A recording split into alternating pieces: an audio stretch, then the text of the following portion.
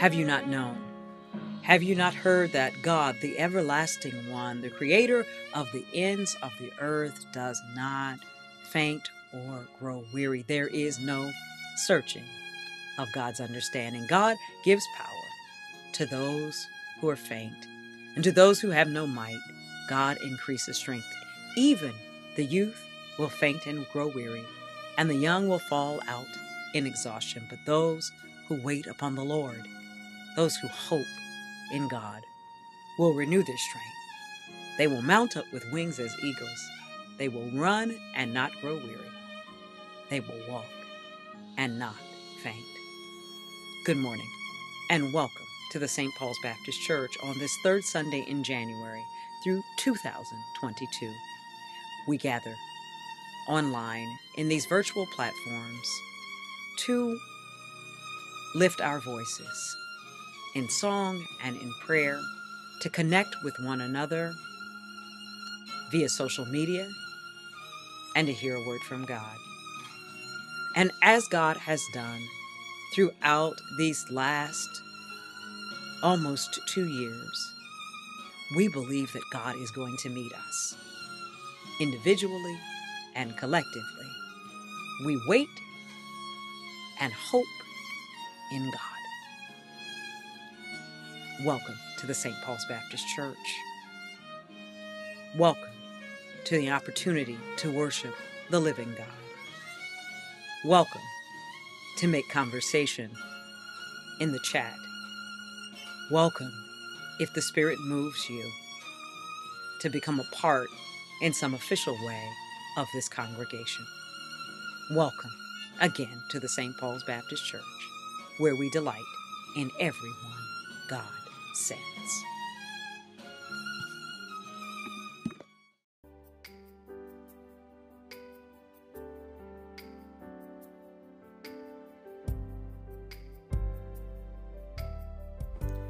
Good morning, saints of the Most High God. Let's pray. Come now, fount of every blessing, tune our hearts to sing your praise. O God of grace and glory, you who gave birth to fire and ice. We come before you this morning singing your praises, clapping our hands, laughing together, mourning together, remembering together, and rejoicing together. We come because you have called us into this place. You have bidden us to come, to join with one another and to experience you in your fullness. Be with us in palpable ways, in ways that remind us of your glory and of your grace. Bless the preaching, the singing, the praying. Bless the giving. Bless those who have come to join with us today for the first time, and for those who have not been here in a long time but have come. Be now our vision. Be with us, among us, and in us. We pray this in the name of all that is holy, in the presence of all of our ancestors, and in the strong name of Jesus. And the people of God said, Amen.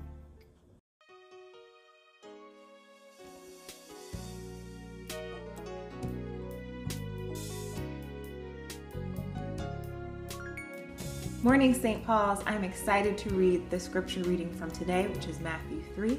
And I'm reading from the book, A Women's Lectionary for the Whole Church, Year W, by Wilda Gafney.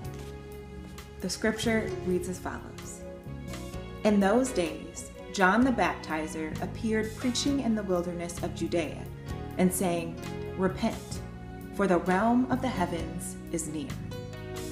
This is the one of whom the prophet Isaiah spoke when he said, the voice of one crying out in the wilderness Prepare the way of the Most High, make God's path. Now, John had for clothing camel's hair with a leather belt around his waist, and his food was locusts and wild honey.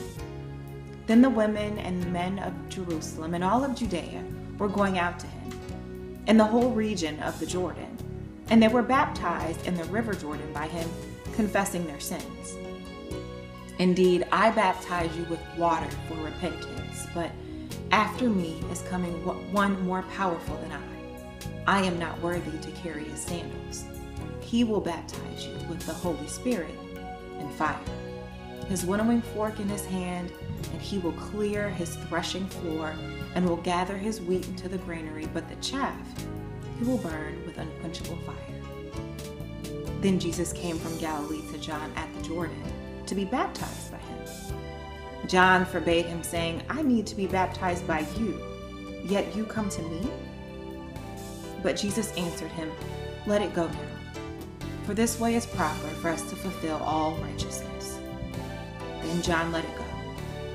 Now, when Jesus had been baptized, just as he came up from the water, suddenly the heavens were opened to him, and he saw the Spirit of God she descended like a dove and came him. And a voice from the heaven said, This is my Son, the beloved, with whom I am well pleased. The word of God for the people of God. Thanks be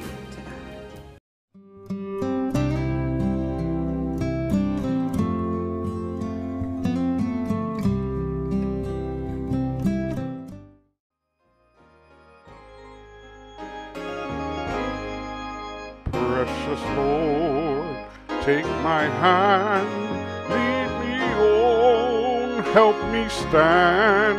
I am tired, I am weak, I am worn. Through the storms, through the night, lead me on to the light take my hand, precious Lord, lead me home.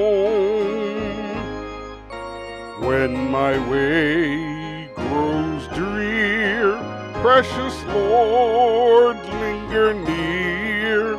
When my life is almost gone, hear my cry, hear my call, hold my hand lest I fall. Take my hand, precious Lord, lead me home.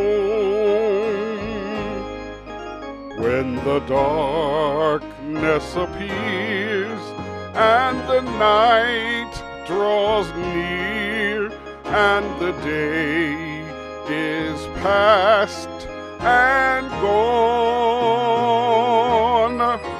at the river I stand, guide my hold my hand, take my hand, precious Lord, lead me home. Precious Lord, I love your name. When I look back from whence I came, sometimes stumbling, sometimes falling, sometimes alone. Friends and loved ones I love dear, many are gone, but I'm still here. Take my hand, precious Lord, lead me home. Precious Lord, take my hand, lead me on, let me stand. I am tired, I am weak,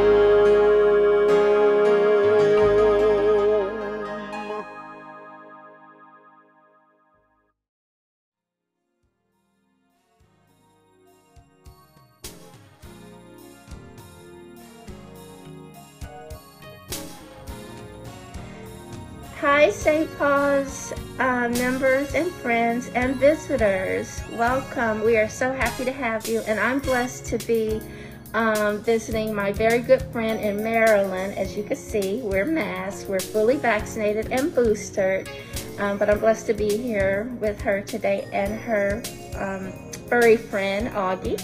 So this is um, Allison Gilbert, Dr. Allison Gilbert. She wants to say something. Hello, Pastor Callahan and St. Paul's. It's wonderful to be here with you today. Um, I'm blessed to be here with my friend. I'm so thankful she was able to come visit today. I hope that next time you all gather, maybe you all can gather with a visitor friend as well. who who wears a mask.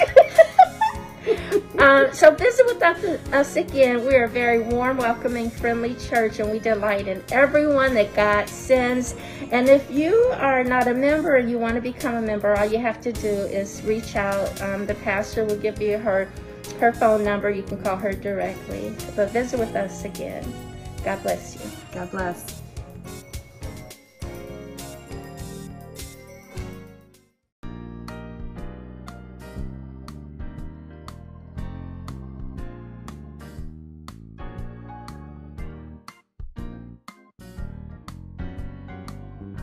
Morning, St. Paul's family and friends.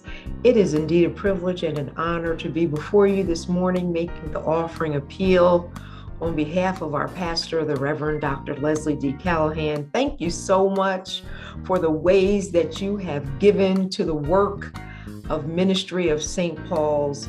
Your gifts have enabled the church to reach out and meet the needs of so many people myself included. And so, thank you for your giving. And we just uh, pray that as you're able, as the Lord leads you, that you will continue to uh, give to this work. And you can make your gift by going to the church website, 1000wallace.org. If you click the giving link, it'll take you to PushPay or PayPal. You can give via Cash App, dollar sign, St. Paul's Baptist Church, or you can send a check to St. Paul's Baptist Church, 1000 Wallace Street, Philadelphia, Pennsylvania 19123. Attention, Trustee Ministry. For the ways that you have given and supported the work of ministry of St. Paul's, thank you so much.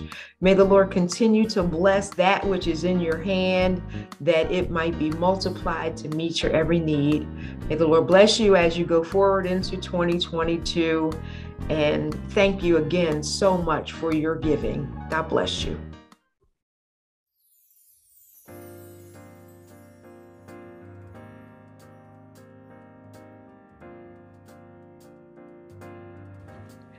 St. Paul's church members, I've come on camera for the announcements this morning to remind you of a very important event in our congregational life. That is our annual church meeting. This year's church meeting will be held on Saturday, January 29th at 10:30 in the morning. In that meeting, we will have the final reading and ratification vote for the constitutional amendment that we read last fall. The trustees will present the church's budget.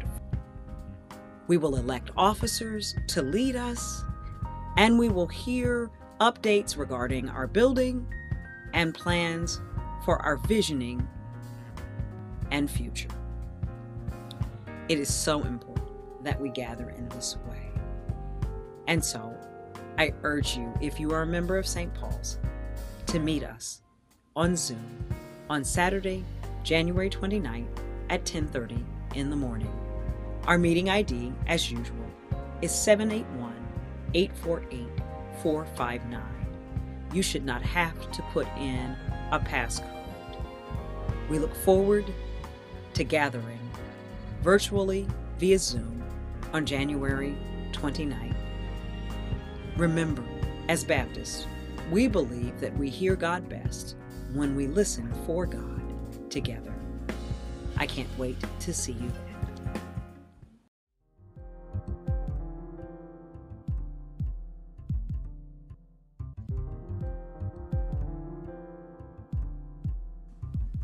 A reading from the Holy Scripture, from the book of Isaiah, the second chapter, the first through the seventh verses, and then the tenth through the twelfth verses. I'm reading from a translation by the Reverend Dr. Wilda C. Gafney. Listen for a word from the Holy One. For the sake of Zion, I will not keep silent. For the sake of Jerusalem, I will not keep still. Until her vindication shines out like blazing light, her salvation like a flaming torch.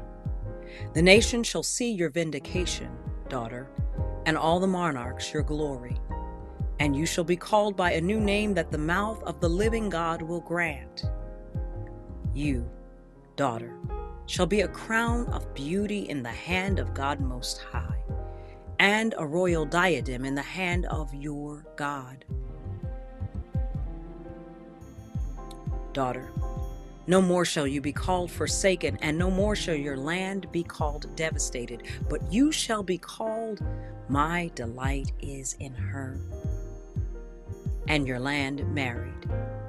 For the faithful God delights in you, and your land shall be married. For as a young man marries a virgin girl, so shall your builder marry you, daughter. And as the bridegroom rejoices over the bride, so shall your God rejoice over you. Upon your walls, daughter Jerusalem, I have posted sentinels. All the day and all the night, they shall never be silent. You who remind the God who sees, take no rest for yourselves, and give God no rest until God establishes Jerusalem and makes it renowned throughout the earth. Go through, go through the gates. Prepare the way for the people Build up. Build up the highway. Throw away the loose stones. Lift up a banner over the peoples. Look, the God who saves has made it heard to the end of the earth. Say to daughter Zion, See, your salvation comes, bringing reward and recompense first. They shall call them the holy people, the redeemed of the God who saves. And you, daughter, shall be called sought out a city not forsaken. The Word of God for the people of God. Thanks be to God.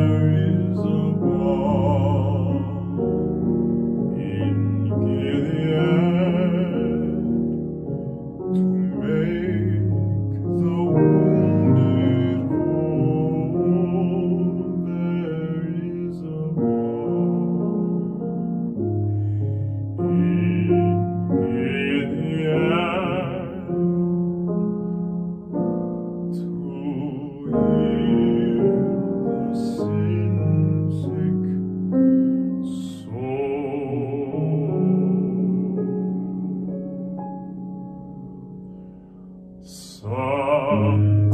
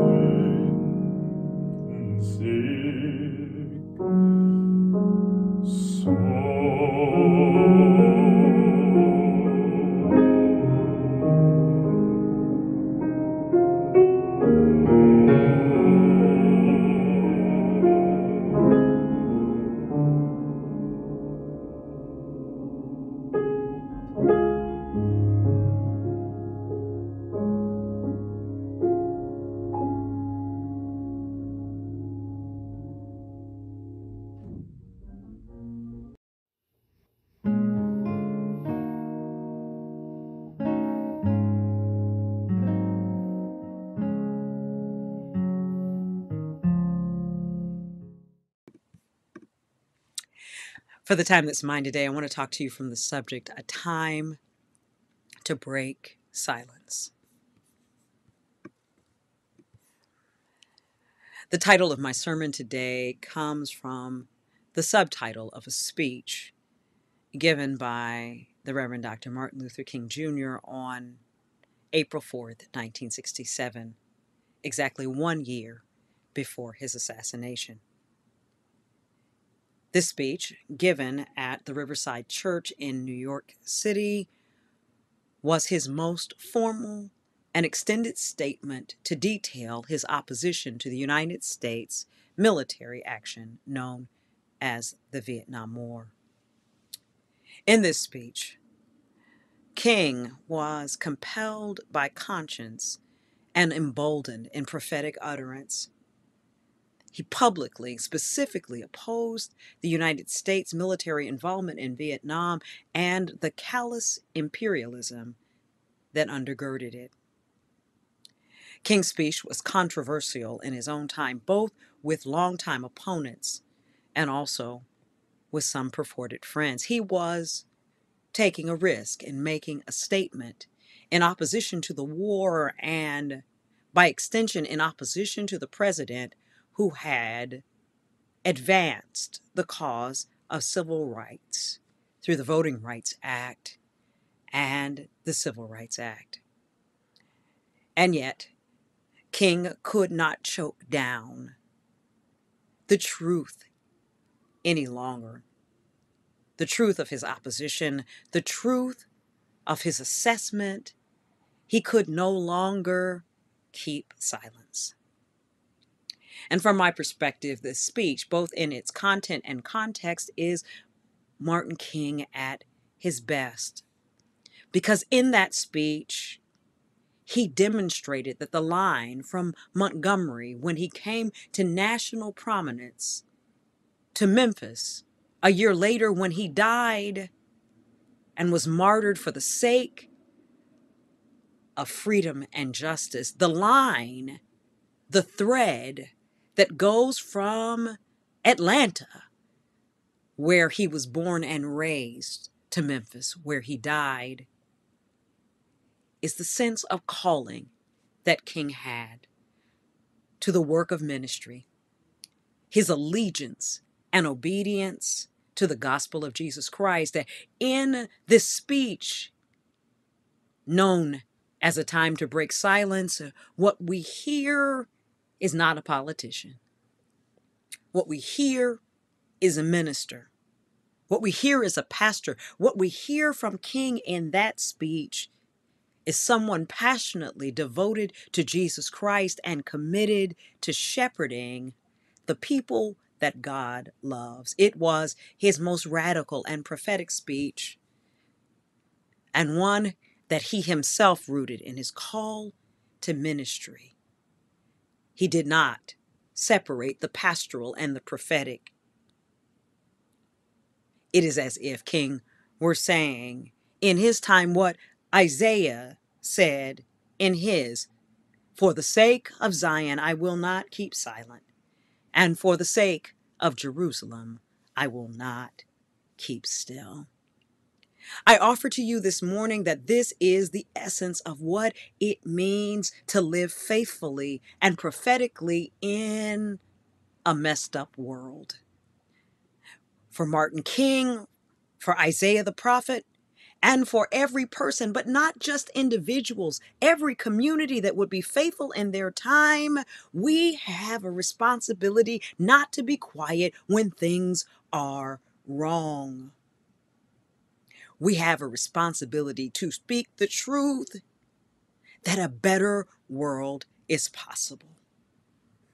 Uh, do you hear the words of Isaiah speaking to people who have been exiled and recently returned? Do you hear Isaiah saying to people who are living in the midst of rubble and devastation? Do you hear him saying, For the sake of the community, for the sake of the city. I will not keep silent for the sake of the people who live in the city. I will not be content with the world as it is. Something else is possible. The end game is the new world. The end game is the better world. The end game is the vindication of this possibility. The end game is living out beauty and love. And until the vindication comes, until the glory that God will grant is made present and known not just for a few, but for all. Until then, I cannot, I will not keep silent. Until it's obvious that you have a new name until you are no longer forsaken, until you are no longer devastated, until the broken down is built up, until the devastated is made whole, until the abandoned is a place of delight. I won't be silent. I wonder as you listen to me, do you still believe? Do you still hold on hope, on to hope that a different and better world is possible? If you still have that hope, you can't be silent. You have to say something. And maybe you haven't gotten that far and indeed, the hope and the belief that another world is possible is not the only reason to speak. Sometimes all we have is the recognition that the world we are currently in is untenable. Uh, we don't know that delight is coming. We don't know that celebration is coming, but we do know that we see devastation now, and we are not going to be silent. You're not going to tell us that everything is fine. You're not going to tell us that the variant is mild when hundreds of people are dying every day. You're not going to tell us that we're on the other side of a pandemic when our hospitals are filled. You're not going to tell us that we're the best nation in the world when we won't prioritize the well being of people. I I don't know what's possible for this nation in the future, but I know right now what we are ain't all right. Uh, on this weekend, when we commemorate the life and legacy of the Reverend Dr. Martin Luther King Jr., you're not going to tell me that John Lewis is your hero when you won't do what's possible to pass legislation to protect the thing he valued most that is the right to vote.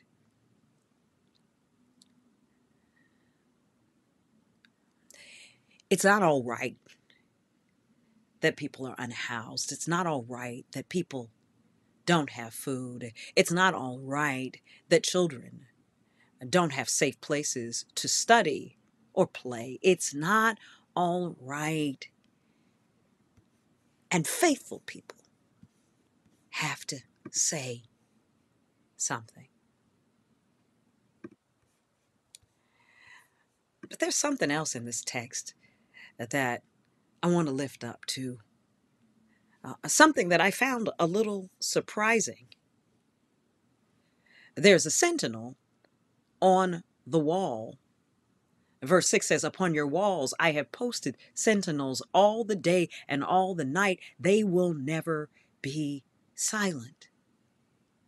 That part's not surprising.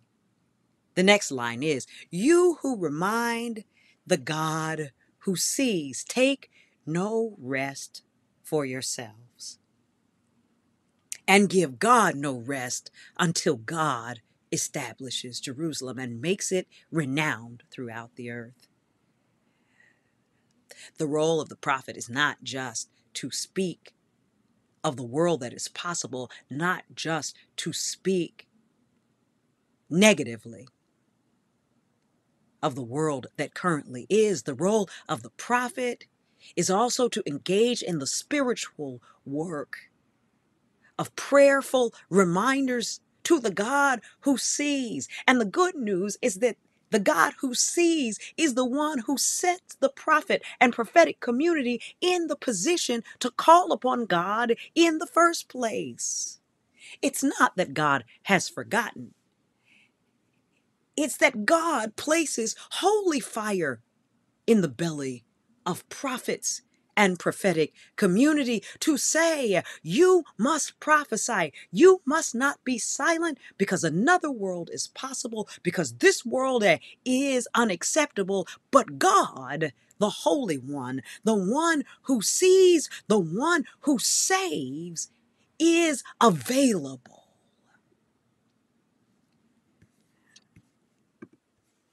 Don't be silent. Not enough to see something if you won't say something. Not enough to notice if you won't break the silence.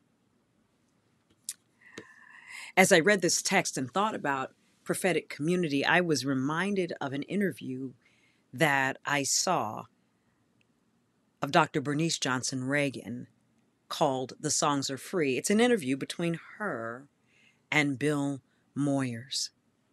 And I looked up the interview, and Reagon, SNCC activist and founder of Sweet Honey in the Rock, said the following Sound is a way to extend the territory you can affect. So people can walk into you way before they can get close to your body. And certainly, the communal singing that people do together is a way of announcing that we're here, that this is real.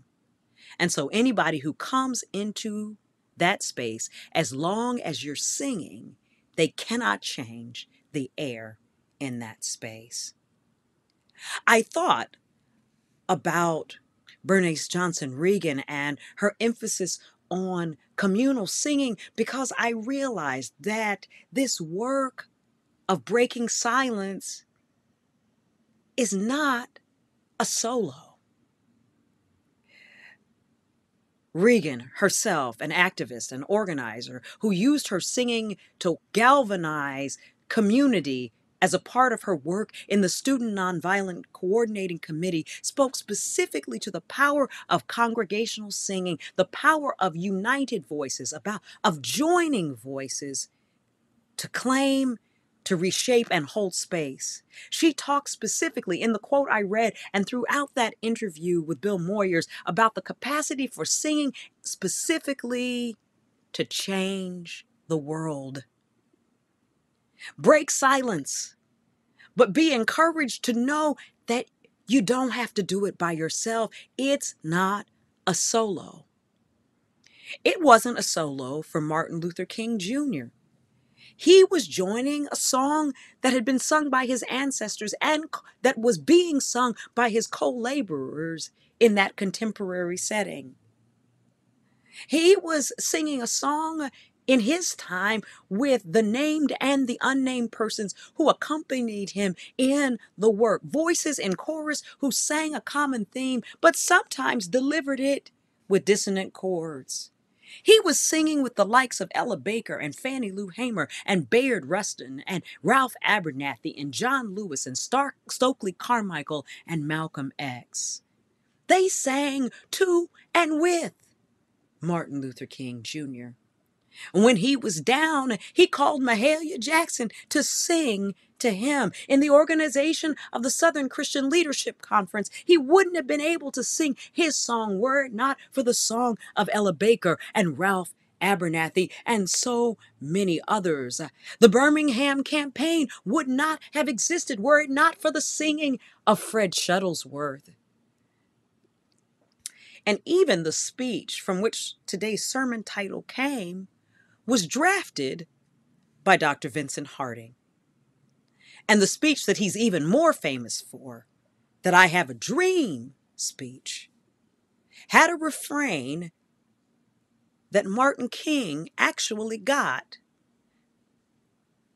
from the Reverend Dr. Prathia Hall, a SNCC activist who he heard use that I have a dream refrain in a prayer before he preached.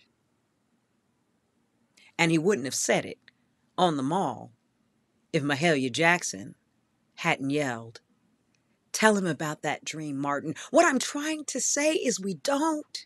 No, not just we don't have to. We can't sing this song alone.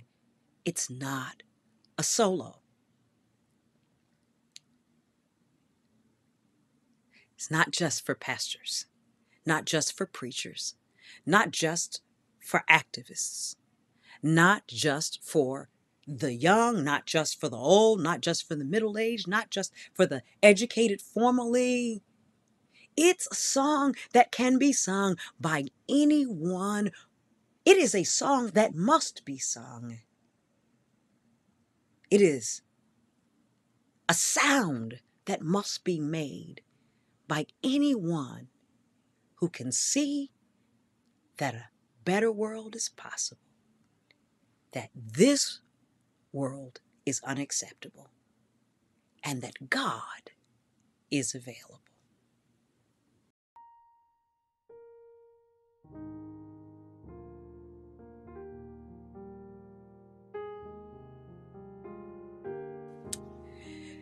The invitation to discipleship is an invitation to join this chorus. To respond to the God who calls forth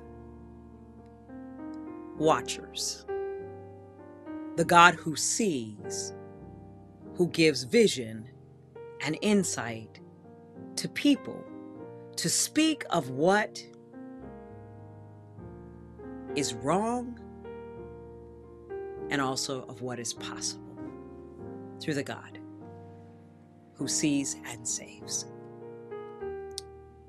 The invitation to discipleship is the invitation to join God through Jesus Christ in this holy work, in this holy way, and to lend your energy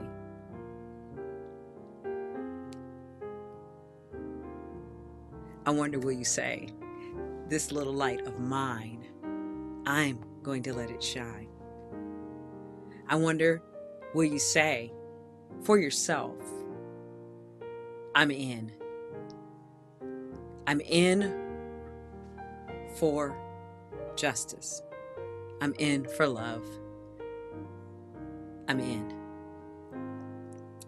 And if the call of God through Christ is for you to be in this work with us, I want you to know that St. Paul's lives as a place of delight, a place where what has been forsaken, what has been devastated, becomes a place of joy and a place of love.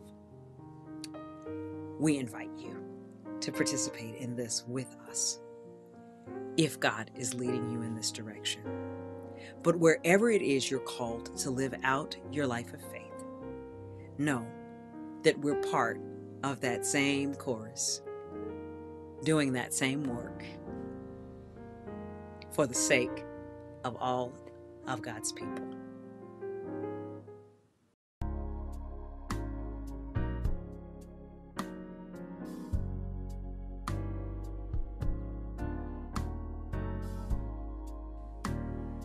Let us pray.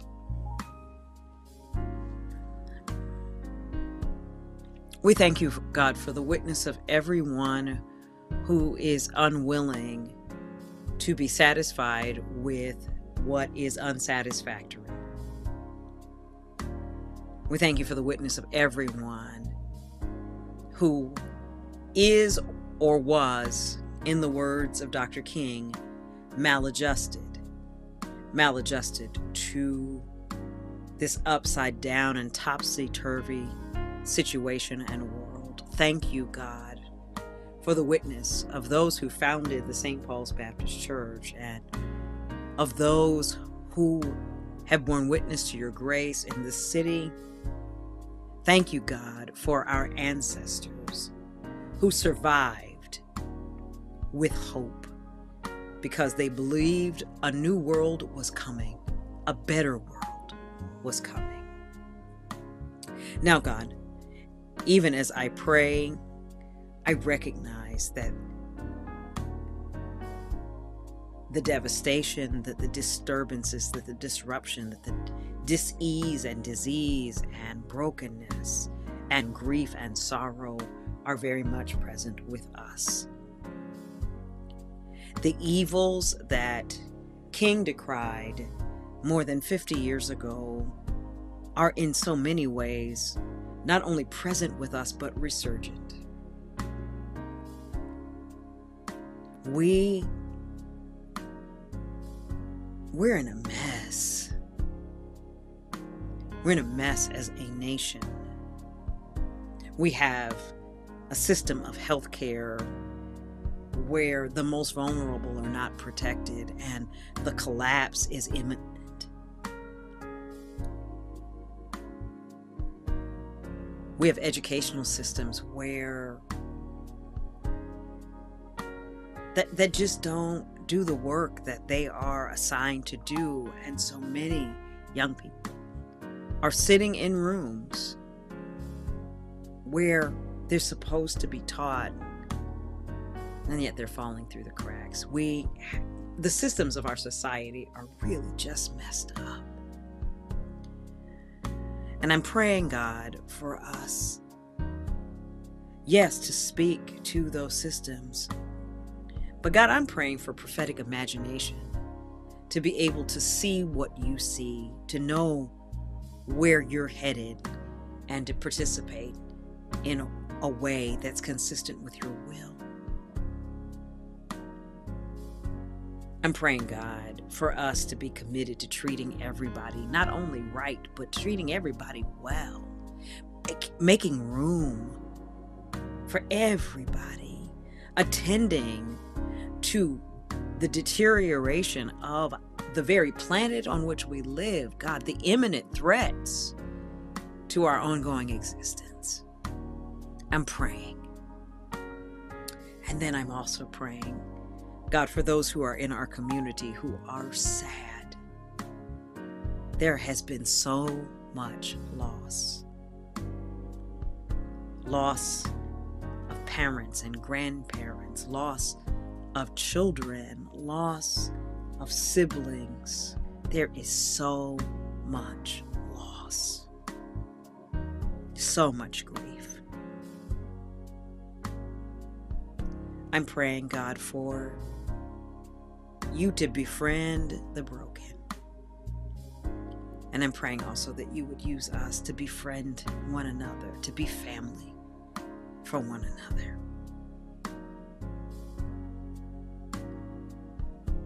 And now the concerns of the hearts of your people that I do not know and have not mentioned, the things that I have lost connection to. I thank you, God, that you are not unaware of, that you really are the God who sees and the God who saves. And I pray, gracious one, that even in this moment, those who need to feel seen, those who need to be saved, would experience your presence and power.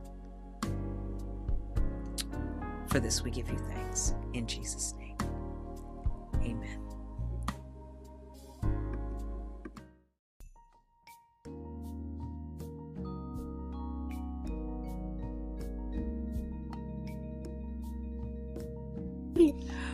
For our benediction today, we offer you the words of the Reverend Dr. Martin Luther King Jr.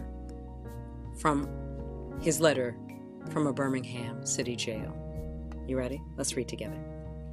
Injustice anywhere is a threat to justice everywhere.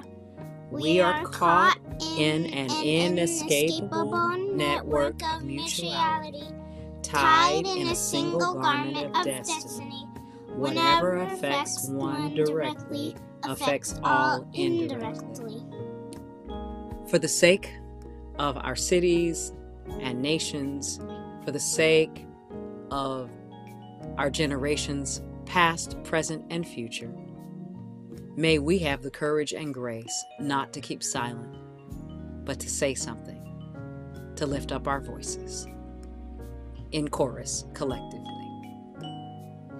And now may the grace of our Lord Jesus Christ, the love of God, and the communion and power of the Holy Spirit go with all of you today, tomorrow, and forever. Let the church say amen. Amen. Go, in peace.